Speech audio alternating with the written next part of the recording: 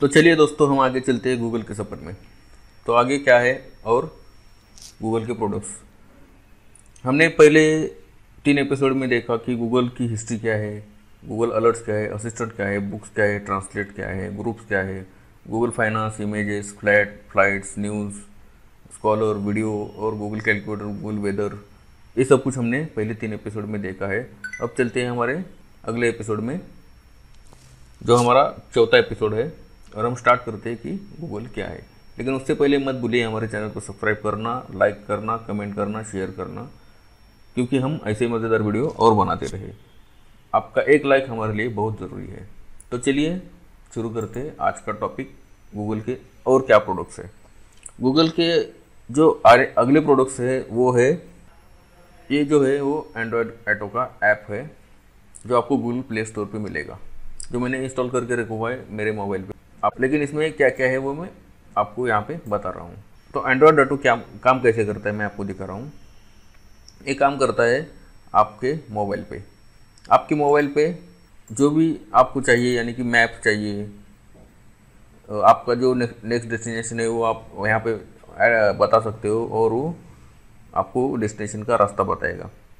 और आपको अगर चाहिए कि आपका कॉल हिस्ट्री कॉलिंग के लिए जो आपको लिस्ट होती है पूरी कॉलिंग करने के लिए भी इसका आप एक डायलर के रूप में भी इसे यूज़ कर सकते हो। और आगे है उस और फिर इसके बाद इसे आप, इस पर आप, आपके फेवरेट म्यूज़िक भी आप इसमें सुन सकते हो।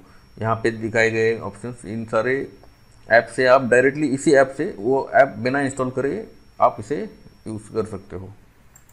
तो चलिए हम, ये भी हमने अब देखा एंड्रॉयड ऑटो क्या है। अब चलते हैं हम अगले प्रोडक्ट पे, जो है गूगल मैसेजेस ये भी एक एंड्रॉयड ऐप ही है। वो मैं यहाँ पे आपको दिखा रहा हूँ प्ले स्टोर में जाके।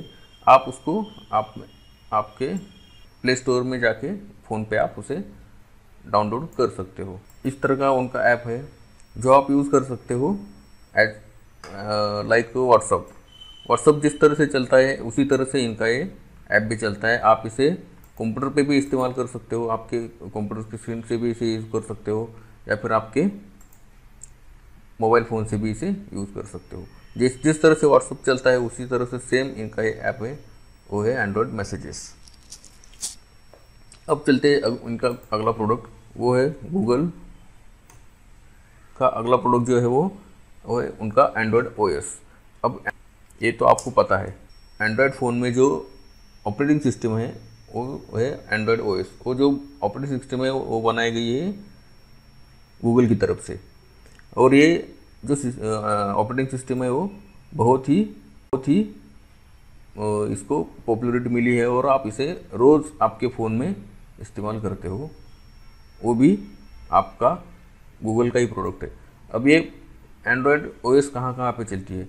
पहले तो मोबाइल जो आपके पास है, उसके बाद स्मार्ट वॉचेस है, जिसमें भी एंड्रॉयड ओ है, फिर टैब्स है टैब में भी एंड्रॉयड ओ है, फिर टेलीविजन्स के लिए है। टेलीविजन्स में भी जो अमेजोन फायर स्टिक वगैरह है, उनमें एंड्रॉयड ओ ही चलती है, जो कि एंड्रॉयड बेस ही प्रोडक्ट्स है। यानी कि हम जो रोज़ यूज़ कर रहे हैं मोबाइल उसमें भी हम रोज़ गूगल को ही यूज़ कर रहे हैं।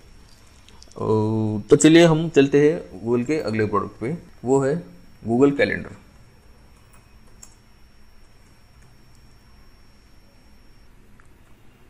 गूगल कैलेंडर क्या है? जब आप गूगल कैलेंडर सर्च करोगे तो आपको गूगल कैलेंडर की वेबसाइट पे लेके जाएगा, जहाँ पे आपको गूगल का कैलेंडर मिलेगा। आप यहाँ पे किसी भी चीज़ को, यानी कि किसी का बर्थडे है कोई रिमाइंडर है, यहाँ पे आप उसे सेट कर सकते हो।